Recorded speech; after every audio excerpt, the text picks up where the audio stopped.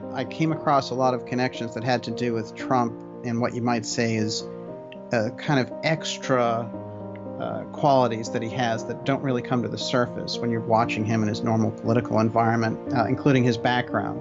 And as I went deeper into it, of course, um, one of the main things that Trump is known for, John Trump, is he is, um, you know, the guy that the FBI called to say, we need you to go through Nikola Tesla's papers when Tesla died.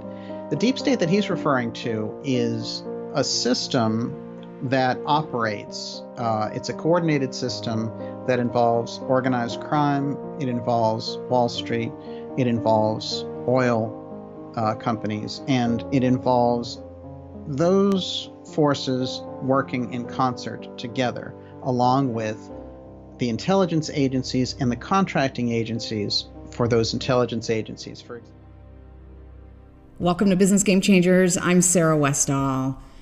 I have a really interesting show lined up with dark journalist Daniel Liszt. He has been doing this series called the X Series. And during that process, he has uncovered a lot of interesting things about Trump's background.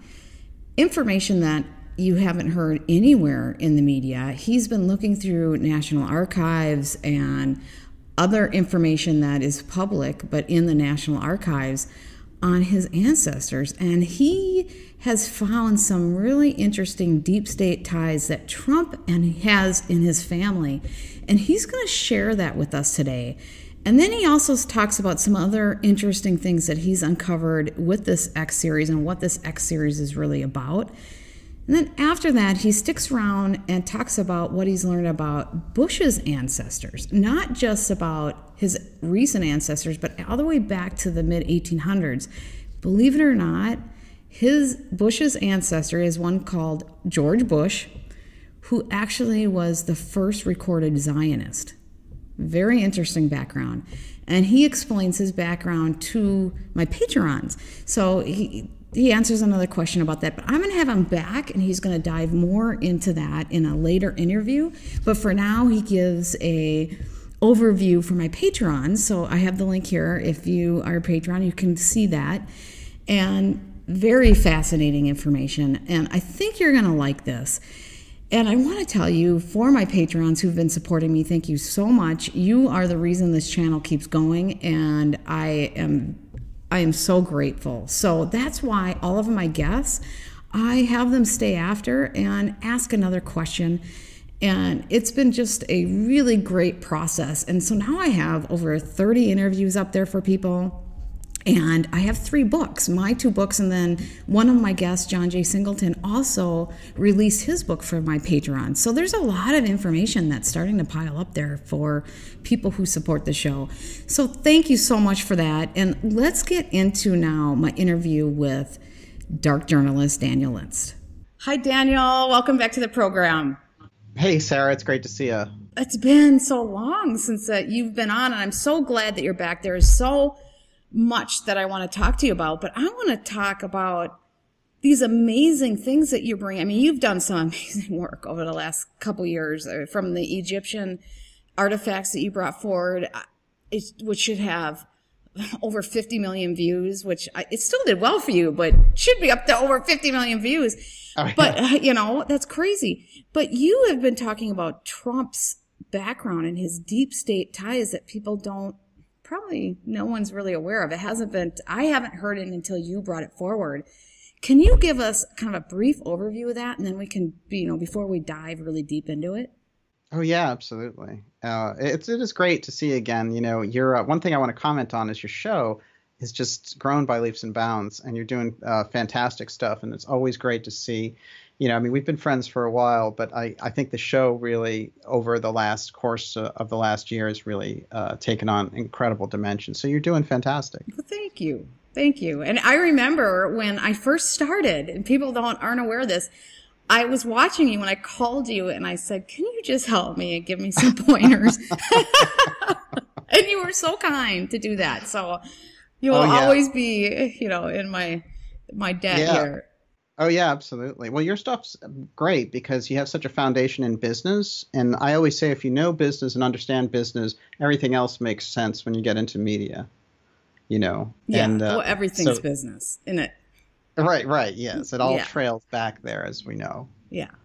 Um, but it is interesting what you're saying about the deep state uh, and the connections I've found with Trump. I've been doing an X series, which follows this kind of steganography of the X and um, through these different projects and mostly black budget projects uh, that the U.S. government has had going on really over the course of the last 70, 75 years. And um, they've really kind of run the show, I would say, because they've driven the financial situation, the geopolitical situation. We've been kind of in that environment. So, um, what I found when I was researching these projects that would go black is that this X would turn up as part of the naming convention for different types of things. Um, and so a lot of the projects that would go into the black budget that dealt with advanced aircraft, suddenly they all got an X designation. Uh, so I've gone pretty deep into it. Uh, some of the paperclip scientists that we brought here, like Walter Dornberger, for example, out of that Nazi program, uh, some of his incredible X program research has given us you know, even the space planes that he ran in the 60s still hold the records for speed, even now, um, because they were designed to just be supersonic. So uh, it started to bother me, though, that all of the black budget projects would turn up with this X designation. So I've been trailing it for a few years, and I, I came out with that series only in the past couple of months, and we, we're doing our 10th episode of that. And um, while doing that, I came across a lot of connections that had to do with Trump and what you might say is a kind of extra uh, qualities that he has that don't really come to the surface when you're watching him in his normal political environment, uh, including his background.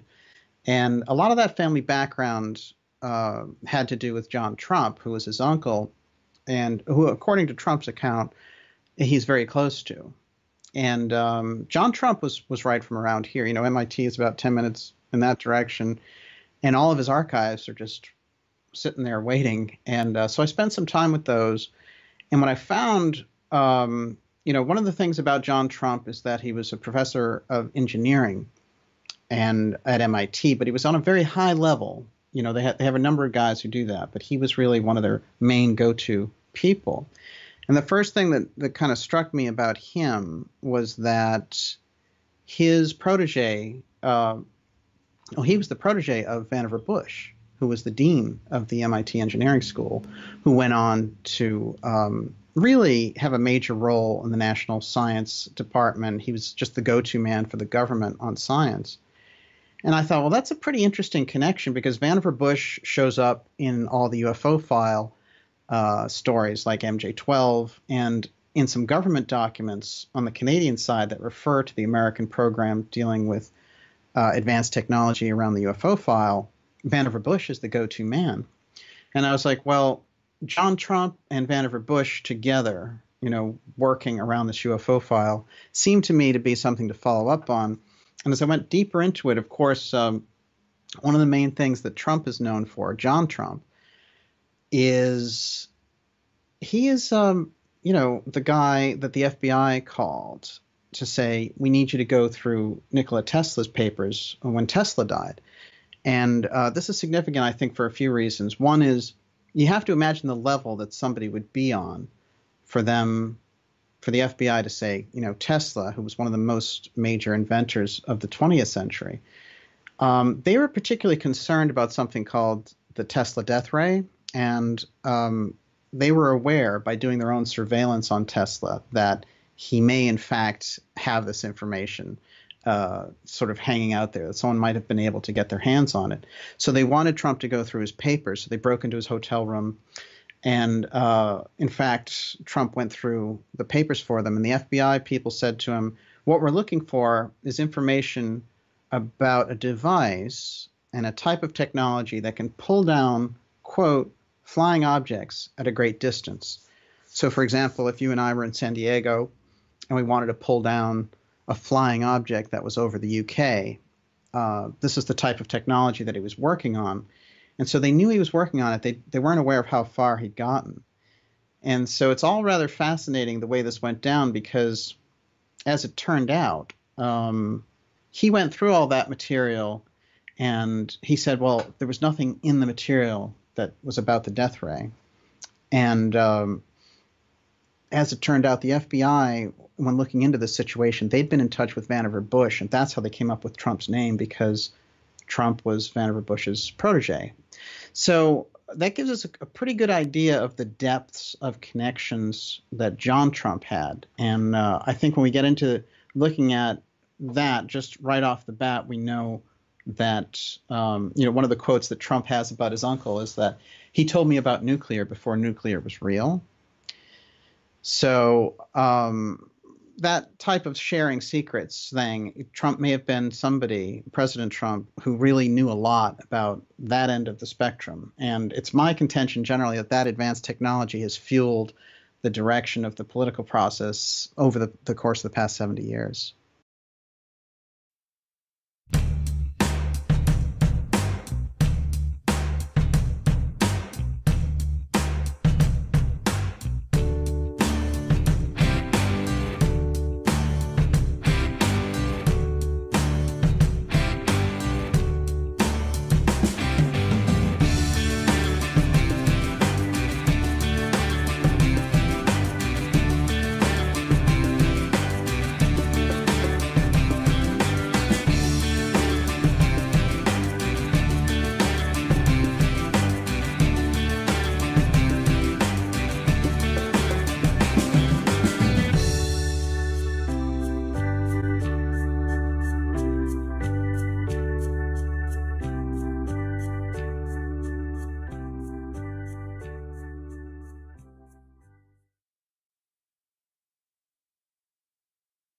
So, wouldn't you say that this whole thing frames Trump differently? I mean, what they tried to do during the election was to say he was an independent, self made billionaire, which we knew he had a father that was really active in real estate and successful, and Trump was given a huge step up.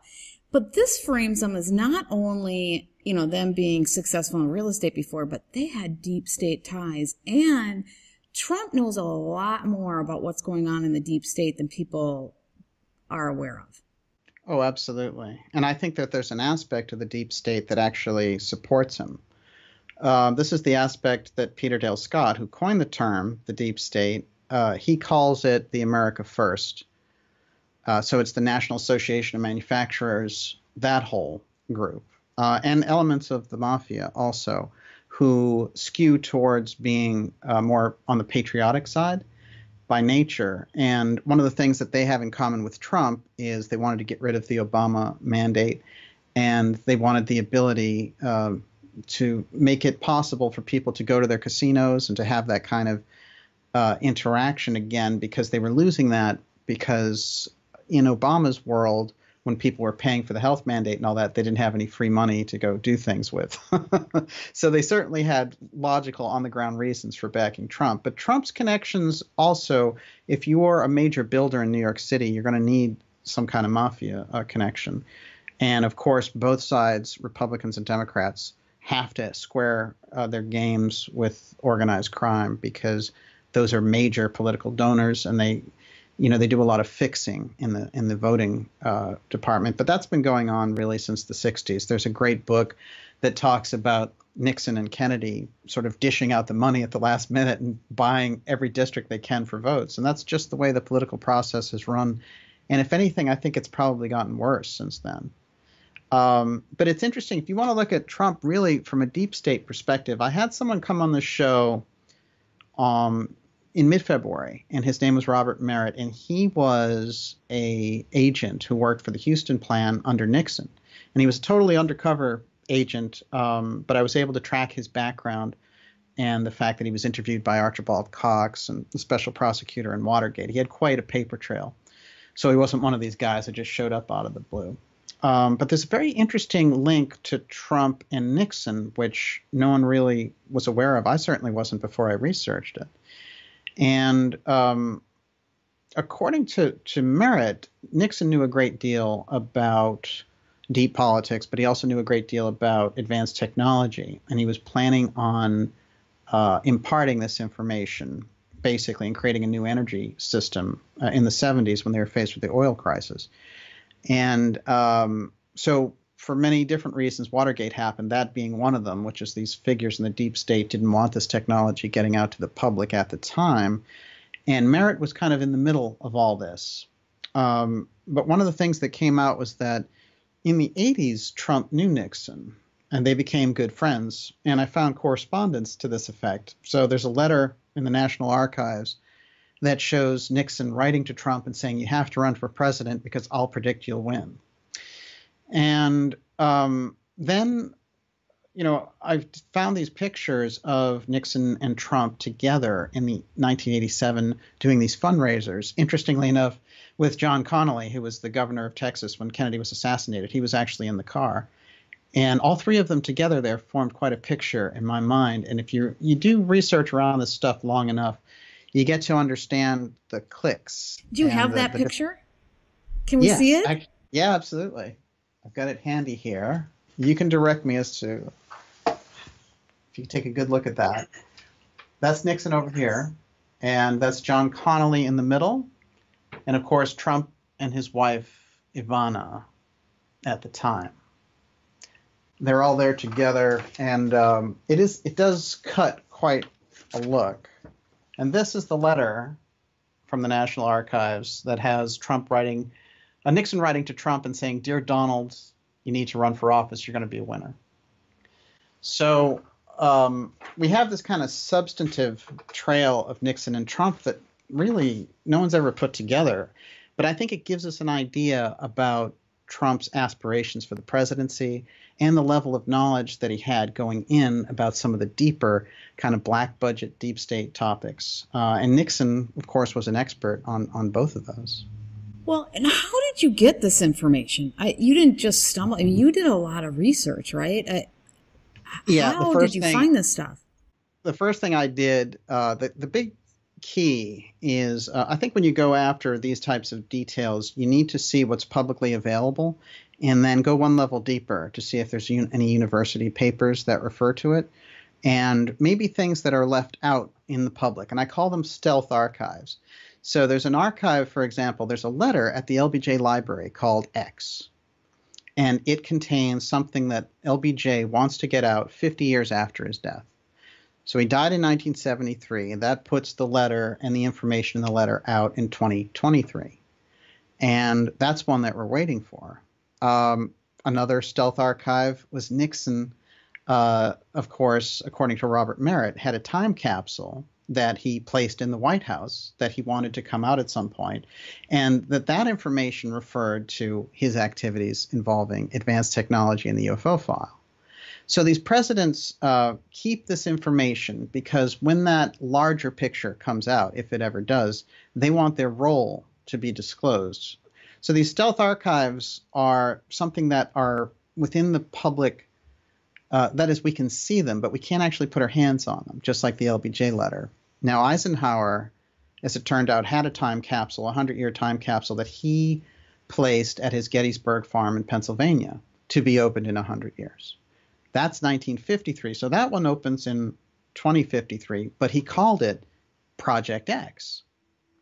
So we we this X um, steganography, and I want to explain steganography a little bit so that we all understand. Like, you know, there's there's cryptology, which is something like Morse code or even the Enigma machine that they had during World War II, that the Germans were the best at hiding uh, their messages going back and forth.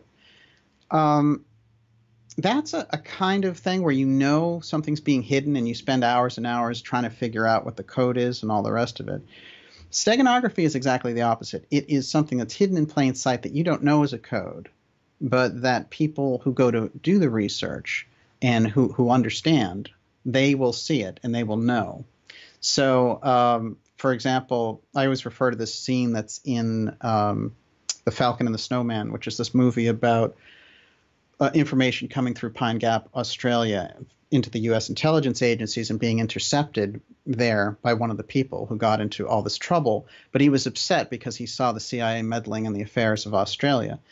Um, so what he would do is he would place an X on these signposts, and the spies who were going to meet him would know to meet him at a certain time.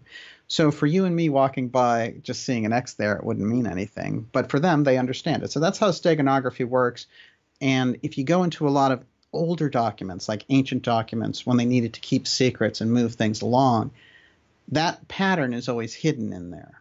Uh, there's always a steganography for different things uh, that they're referring to because uh, even people like Shakespeare and Nostradamus, there were certain things they couldn't talk about openly that they would refer to in their writings to get around kind of like Catholic persecution or whatever political persecution. So something that might just be benign, like you're you're thinking this really isn't that big of a deal, could have immense information for certain people in it.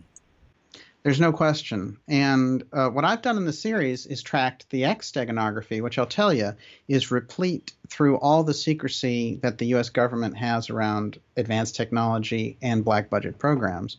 Over and over again, the X shows up. And um, what it tells me is that even in some of the earliest cases of the FBI doing things, the Tesla file, for example, contains all these X's.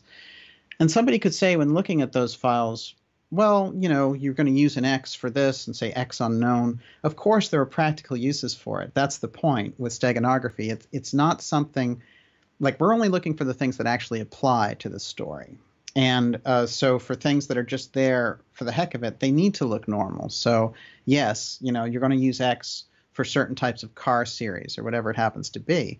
But you also might be able to use something as simple as X for a number of different intelligence agencies to follow the same thing without briefing them all to the same level. So I can actually give you communication about a particular project. I can bring you in on a black budget um, technology project, for example, and have you follow when these X series uh, technologies come out. So right now we have the X37B, uh, you've got SpaceX. There's a number of technology movements that are happening that are related to uh, this black budget technology that they've kept hidden for a good a good long period of time. Uh, in my estimation, longer than 70 years, um, but at least we can count from there. What do you, has there been any stealth capsules that have been opened, or um, in history, or is the first one Eisenhower's? Well, no, uh, none of the none of the time capsules that are stealth archives have been opened. Uh, Eisenhower's will open in 2053. LBJ's uh, X letter is a stealth archive, and that is set to be open in five years. That's 2023. Now, um, they they went to open the letter in the 90s, and it was a very interesting tussle because Nixon was had died, and they thought um, you know, there were a lot of things coming out, and they thought maybe the letter relates to LBJ and Nixon. So there were some references to Nixon and Spiro Agnew and New Mexico in the in the LBJ letter. So there was all this thing about did LBJ uh, spy on Nixon and, and all these types of things. But I think what it, it gets into is they released one letter, and uh, the other 14 pages they kept. So they said, well, we'll, we'll release these actually when the time comes. So for some reason, they put out this one page of it. Um, and so we never really, we don't understand the real thrust of the letter X.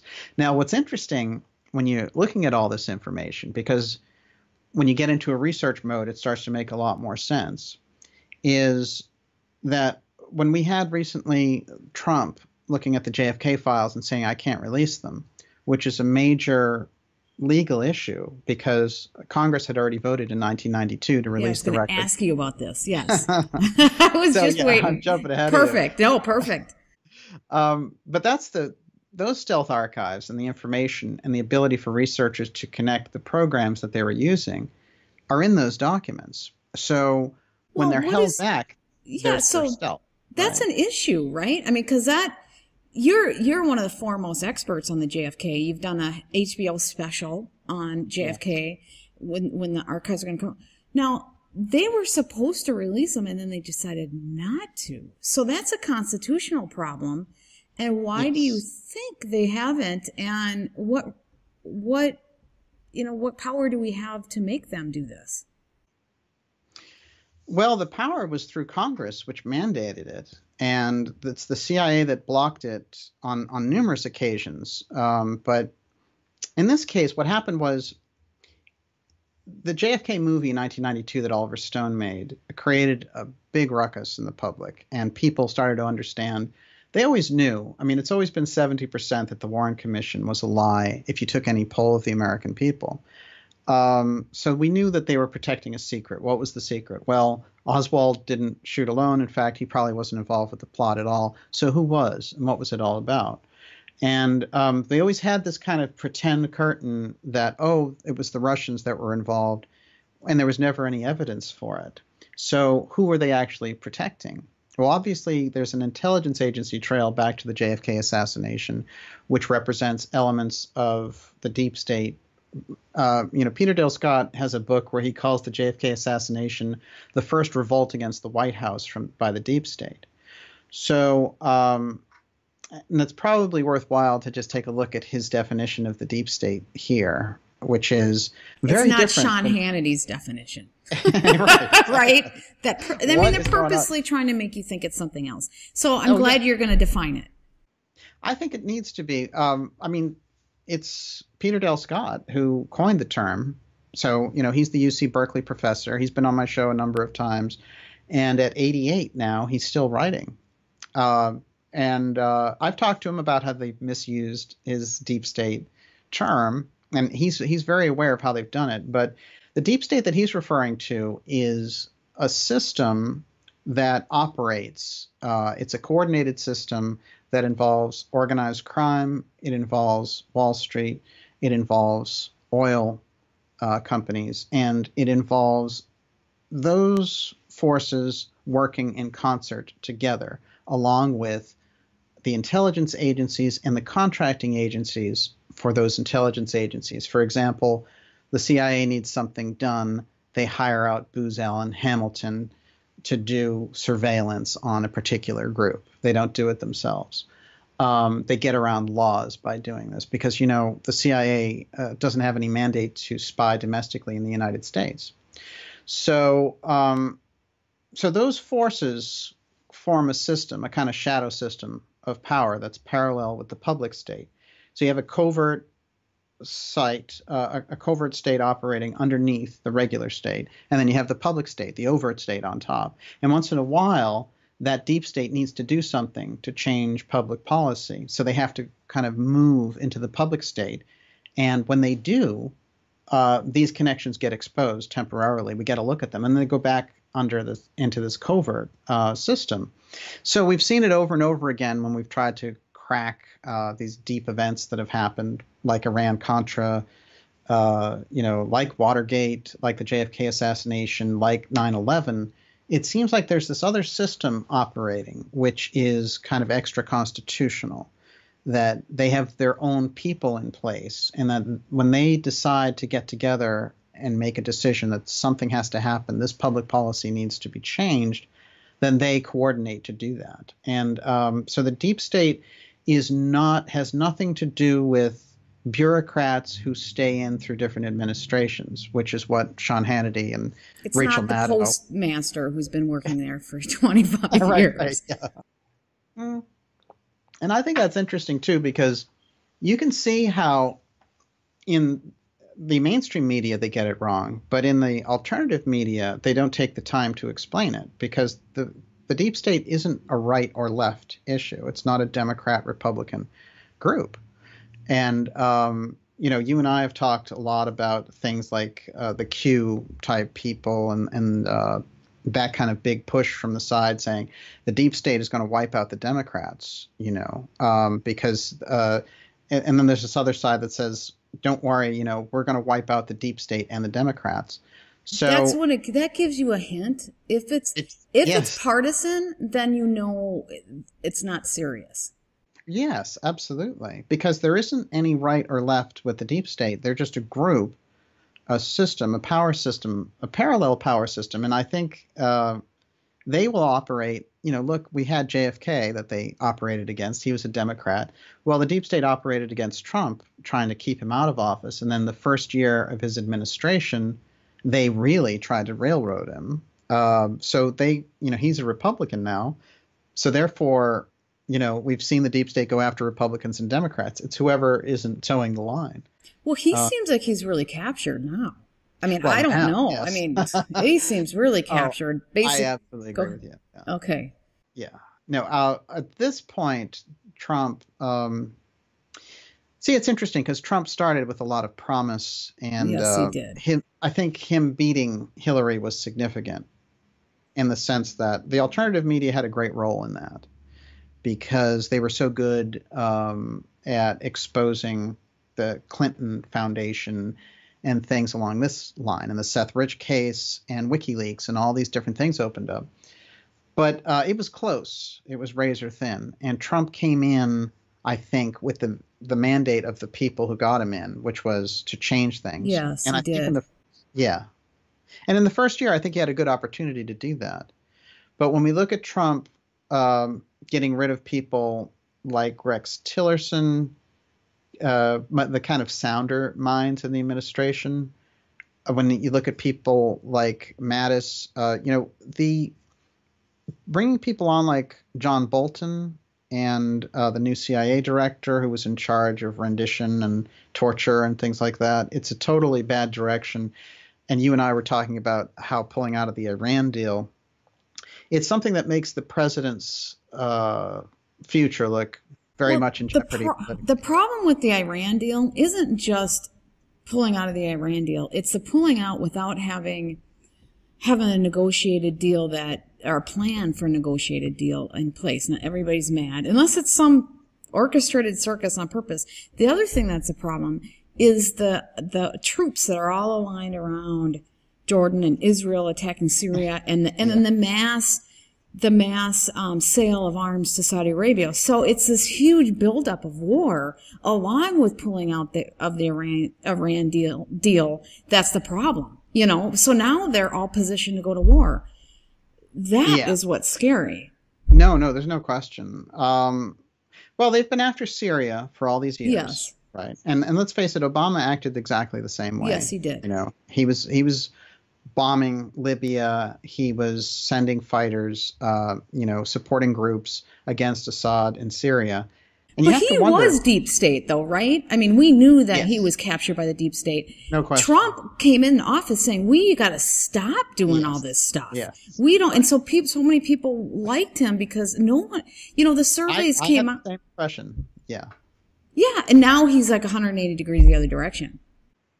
I think a lot of things, a lot of forces have moved on Trump so that we're not seeing the same guy who got into office. I think the uh, Mueller probe used a lot of deep state shenanigans. I think they used the whole phony Russia collusion thing. You see, none of these narratives make any sense. And I was watching, uh, there was a whole thing on MSNBC. MSNBC has pushed the Russian collusion narrative on one hand, but on the other hand, uh, they're pushing this whole thing about oh, Trump is pulling out of the Iran deal. Well, which one is it? Because if he's colluding with Russia, then he doesn't want to bomb Iran because it, Russia is tight with Iran.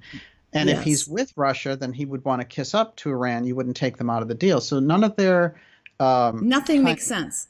No, no, and doesn't. the Korea's coming together. You know, I mean, it's like everything. Things just aren't. you know.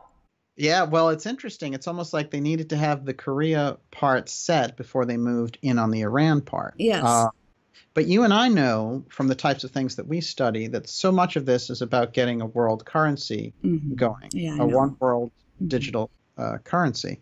So, which is why the same day that you have Trump pulling out of the Iran deal and really sounding like G.W. Bush, I mean, you know, saying that the Iranians have captured hostages of America in the past. You know, yeah, I mean that was 1979. Oh, it's all BS. Yeah. oh my gosh, his story right. of why we're going into Iran was such a joke. But go ahead. Uh, well, and we know that Bush and all the rhetoric about the evildoers and all this, that's what Trump sounded like, unfortunately. Yes, he did, yeah. Um, so that's Bolton's influence, I think. And uh, I think what the people who've supported Trump and helped him get this far need to send him a message. that the Bush era neocons uh, are not the people that he wants to represent him. The other thing that he can do, you know, it was funny to me that he went along with the CIA on the JFK block because he can actually, you know, hold them out to dry a little bit by um, putting those files out. It gives him a better, stronger position because I guarantee you, in the JFK files is information that will show that the CIA has operated in extra constitutional fashion. That's what I wanted to ask you: was why? Yeah. You know, get down to the what's really in there. Oh, what are they hiding the files for? Yeah, and you're saying it's because it's showing that the CIA. Well, keep, keep going.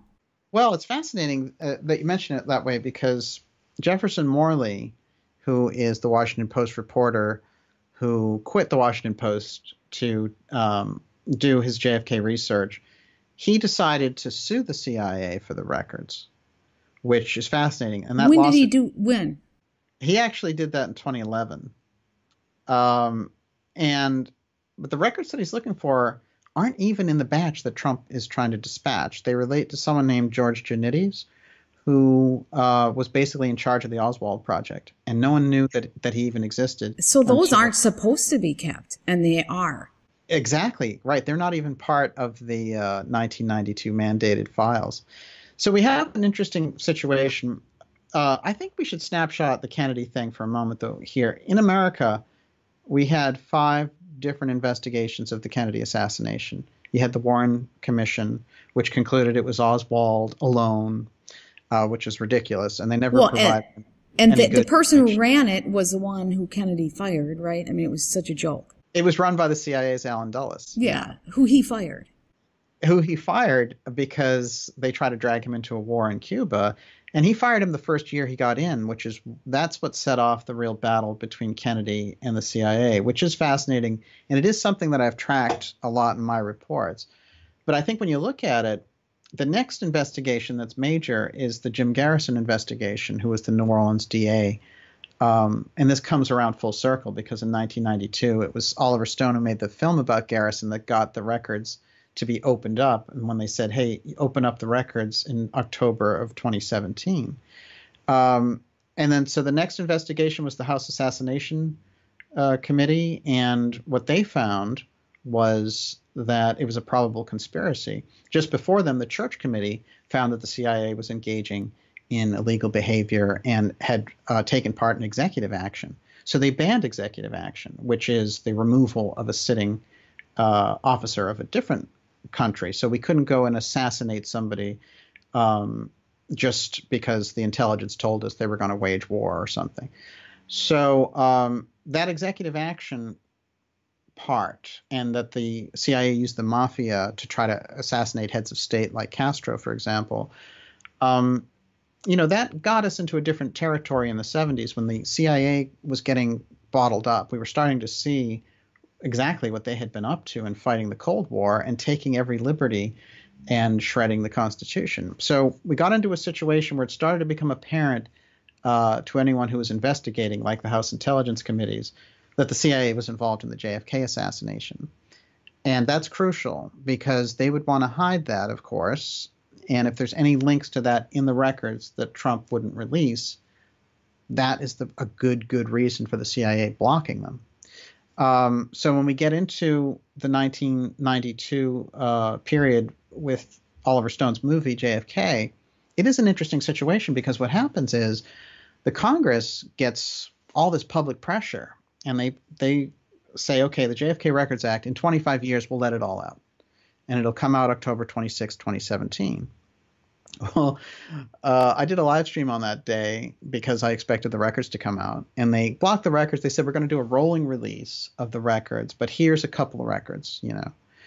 And so, so you did the Geraldo Rivera tomb opening. did that go through your mind at that point?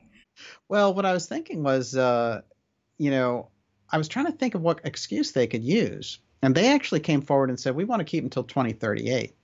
And Trump said, no, six months will do it. Um, so then I did the Vice HBO special on November 22nd, and we talked about some of the things that we were discovering uh, about some of the older connections to the CIA keeping the records. And the fact uh, was that Joannides had not only run the Oswald project in 1963, which is part of the records they want to keep, that Jefferson Morley is suing them for, but he also ran this. he was the CIA liaison for the House Assassination Committee in the 70s. So they have controlled the ball about the information that gets let out about JFK's assassination. But let's think about it. I mean, that is the first real transgression, if you think about it, because that was a duly elected president by the people. And if the CIA had a role in removing him, it's 55 years later. Eh, you know, the transparency wall uh, the secrecy wall needs to come down and the transparency needs to come through. So Trump had this opportunity uh, with the files, and he decided to go along with the CIA and say, "We'll hold them till 2021, after the next election." mm. Now, do you think that what's in there is that people will question the CIA altogether? I mean, it'll be a big revolt against the CIA, and that is something they don't want to deal with now. I think two things are in there that they're really worried about. One are the Garrison files, the set of files dealing with Jim Garrison. Um, the assistant to the CIA, um, who put out a book in the 80s about working with them, said that the CIA and Richard Helms, who was the CIA director at the time, had made major efforts to block uh, Garrison's investigation into the JFK assassination because it was going to expose people in their employ. So um, that's those records I think are significant, and they're going to show that there's a combination of forces involved in the assassination of John F. Kennedy. One, according to Garrison, it was a force inside of the aerospace companies that was particularly uh, enamored of the idea of getting rid of JFK. That I find very interesting because um, a lot of the things that we've been talking about relating to advanced technology and the things that they wanted to hide uh, would get into why aerospace would have a motive for assassinating Kennedy. The other records uh, that they have held back, no doubt, relate to the fact that Oswald worked with the CIA in the first place, and that he was one of their assets, and that they had set him up to uh, appear as the patsy and uh, appear as the lone assassin, which was this ridiculous story that they've sold us for 50 years that no one has bought. And one of the things, the, the reasons I really kind of emphasize the JFK assassination, and one thing I think we should get on board with about this, it is the template. It is the deep state template for how business has been conducted ever since. You know, um, and, and how do how do you say that? How what do you mean? Well, the idea how is it that, the template? It's the template because if you can take uh, the public assassination of a president, uh, as we had in 1963, and the policy is getting reversed, so there's the public policy aspect getting changed immediately on the plane. yeah, right, exactly. And then that Sunday, they overturned his entire Vietnam policy. Uh, so he's get killed on Friday. It's, it's crazy action. that they it wasn't so obvious at the time, but keep going. I mean, it is fascinating, but yeah. that's what gets us into Vietnam. So you can see it has a major impact the minute that these deep state events happen. Um, the next thing is the cover up. You put a committee together. They uh, kind of create this situation where you can't find the truth because they obfuscate it, and they get the media on their side. And the media works. A lot of people have to understand this and I understood it when I worked in the mainstream media, which is that the Council on Foreign Relations controls the media because anyone who's anyone of significance in the media is a member of the Council on Foreign Relations. So if you do something outside of the bounds that they're comfortable with, you're out. and you won't have that access, et cetera. Uh, now, of course, we have this tremendous CIA presence in the media, and that's too cozy a relationship. In some cases, the way I understand it is the CIA will give a story wholesale to the New York Times, and the New York Times will just write it wholesale as they're given it. So it's basically like a propaganda sheet. Um, so that type of situation, you know, is ongoing. Unfortunately, I'd like to think that you know they participated in the JFK assassination and the CIA cleaned its act up and everything's hunky dory. But all the same rules are in place. And let's look at what they did with Trump last year. They were trying to remove a duly elected president using things like a bogus um, Russian dossier and all the rest of it. So we see the same And if the if the if the way. alternative media wasn't as powerful, it would work. Hmm. Right? I mean, that well, would absolutely no question. Yeah. Yeah, all, that whole template would work. Just like 9/11, the alternative media kind of threw that off the tracks, but that was the same template they used for 9/11.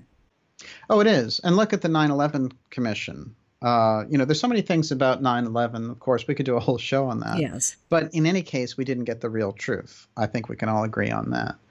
Um, but well, the same. They, it was the same template. It was. You, instead of the Warren Commission, you had the 9/11 Commission. And what was their conclusions? Well, it was a joke. You know, yeah. So their their conclusion was that Bin Laden created the entire scenario, and that you had these guys who were able to get on planes and take over planes and fly them. Now, the United States has had protocols in place for those types of actions.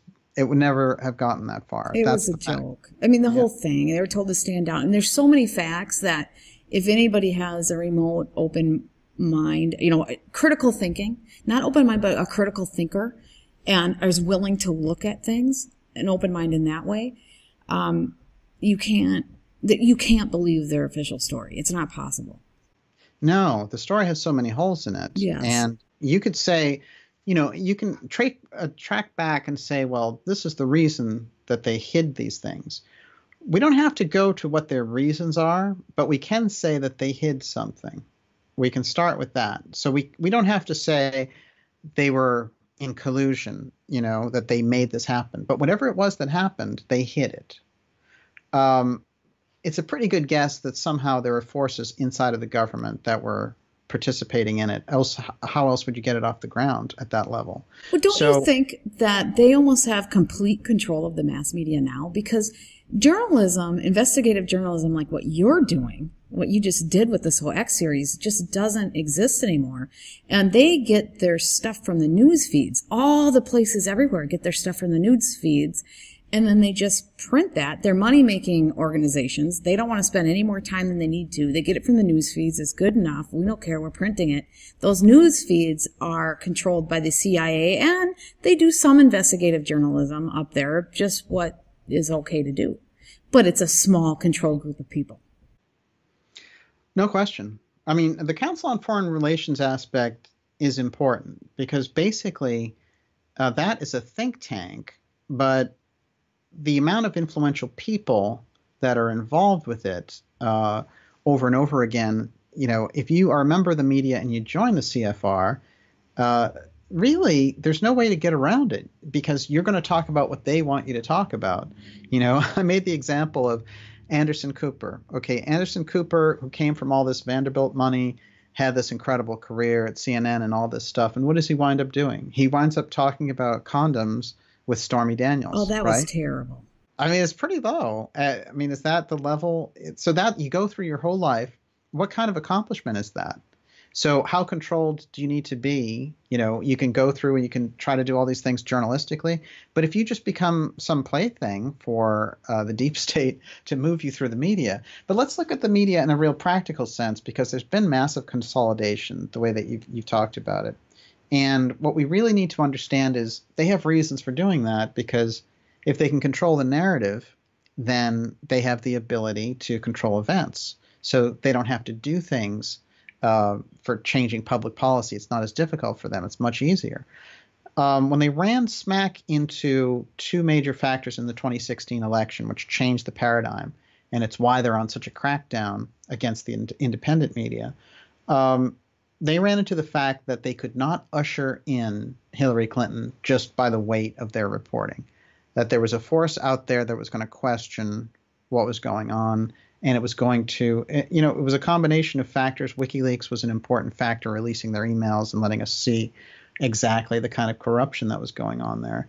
But the other factor was that the uh, independent media was so lined up against it and helped to reveal so many different things like what we talked about. The question is, though, all the clampdowns and all the, the pushing back by the mainstream media against the independent media um, it might get more and more difficult to have a 2016 election where the independent media has a voice to that level. And that's what they want to stop, really. That's why we saw them trying to uh, create this whole red scare, you know, and like uh, anyone who's with Trump is with the Russians. You know, it sounded like 50s McCarthyism. Right? It was absolutely absurd. Do you think that they've just controlled it with algorithms too? I mean, because they had this big crackdown where they deleted channels and things like that. So maybe that's a whole preparing so that this will never happen again. Well, fundamentally, let's go back to the Constitution. They understood, uh, the framers of the Constitution understood that you needed an open, fair media if you were going to have, because they had dealt with King George and they, they understood that, you know, you say the wrong thing, you get rounded up. So they said we need to have free speech, we need to have functioning press. Now, um, they said that it was just as important as any legislative branch of government to have the ability to, you know, have this media going out there and telling people the truth so they can make up their own minds. So when you move to get rid of that by censoring uh, YouTube channels, when you try to eliminate people from saying certain phrases on Twitter, and they've done great undercover stings of people at Twitter and at Google saying that, you know, we need to shut down this particular point of view. And very often it is a liberal conservative thing, um, you know, that it's, they want to really shut down these particular memes that are coming out that aren't something that are to their liking. So they might be alt right memes, whatever they happen to be. In any case, it doesn't matter. You know, it's free speech. Just like I say for people who don't like Trump, you know, well, even if you don't like him, I'm sure you don't want the CIA to remove a duly elected president. So it get back. Uh, the whole thing gets back to the Constitution ultimately because this whole thing about the media and the control of the media is why I got into dark journalism because what I see it really is that you have a couple of different sides that you're fighting against. You've got the mainstream media coming down and telling you what to think. And then when you're trying to find the real story in the middle, you've got this other aspect, what I call junk conspiracy, which operates right beneath the mainstream media and very often drives people back to the mainstream media because they think, oh, well, this is too wild a conspiracy. I'm going to go back to normal, safe mainstream media. So I made up rules when I did Dark Journalists. I said, well, there's the official story that's put in place by the establishment to kind of save individuals and uh, you know to, to keep the status quo going and then beneath that there was the counter story which is brought forward by intelligent people uh, who are doing real reporting like what we're talking about here and you know like a peter dale scott type person there'll be professors there'll be authors there'll be people who understand that the mainstream media isn't giving them the whole truth and very often the media will brand them as conspiracy theorists and there's that whole dynamic but the junk conspiracy is very interesting. And you and I talk about this a lot, which is these things come out of the blue and they are to discredit that second level of investigation. And uh, I call it third force because it's it's the level it's the third level. The mainstream media uh, official story, the counter story, and then this third force comes out. And the third force junk conspiracy, uh, you know, the JFK uh, assassination has one, which is the driver did it right? I mean, it's this thing that uh, will come out and just circulate, and you'll be like, what is going on here? And people look at this crazy story and say, oh, I, am going to fall asleep again and go back to the mainstream media. I can't deal with that conspiracy stuff. So it's very effective.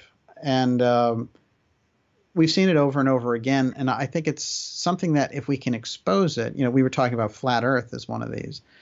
Um, these are things that are very likely cooked up in intelligence agencies to silence and connect uh, people who are criticizing them with far out crazy theories. Do you think, because when I hear some of the things like that, I, I get these comments, the rudest comments on my comment boards oh, yeah. that are like outrageous.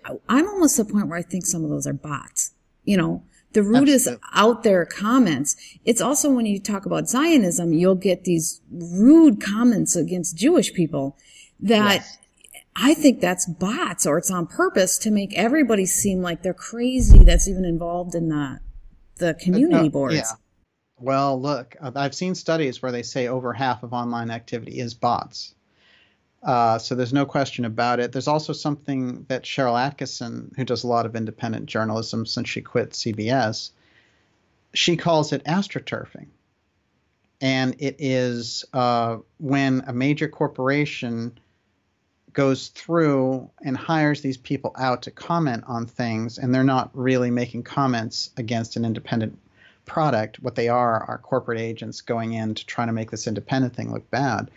So that kind of astroturfing we do see when you get into the independent media. Of course, uh, there's a lot of hot button issues like what you're talking about. You say one thing and all this other stuff comes up, and it's really through comment boards that they control things. Um, but there's such a crackdown in Google and YouTube that I do think that things are going to migrate onto other platforms. I'm a great fan of how uh, YouTube operates, and you and I, uh, we do our shows through YouTube, and I think it is the most open format. But I think what's happening is the political situation is going to cause a kind of clampdown um, to continue, and you know, it's one thing like to say people should be responsible with their media. I agree with that, you know, and I don't think anyone should jump to a false flag conclusion about everything that happens. It's that's again, I think that's a lot of junk conspiracy. And we get we see levels of junk conspiracy that come up a lot. So with the kind of work that I do, not only do you have to kind of battle this wave of conformity to the mainstream media, but you also have to see your way through the kind of psyop junk conspiracy stuff. Yeah. Yeah, it's hard. line that you and I need to walk down. It's really hard because, you know, the listeners don't know who's real and who's not. Well, we don't know really either. I mean, we're doing the best True. we can.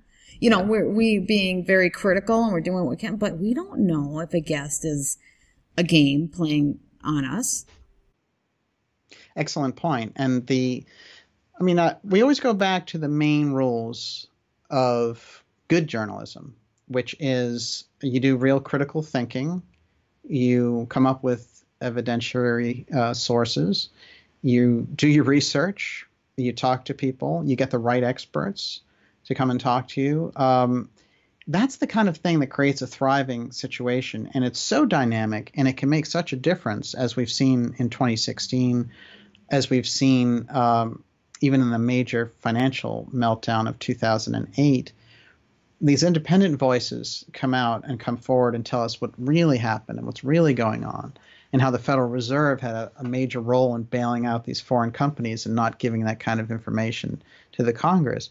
These things are crucial, and you're only going to find them in the independent space. Uh, so, the independent space, although it can be a little bit like a Wild West thing, it is not uh, encumbered. It doesn't have the restraints that the mainstream media has. So therefore, you still have the ability to get the truth there, exactly. which I think is crucial. Yeah, exactly. And the, main, the mainstream media will tell you the truth about basic things.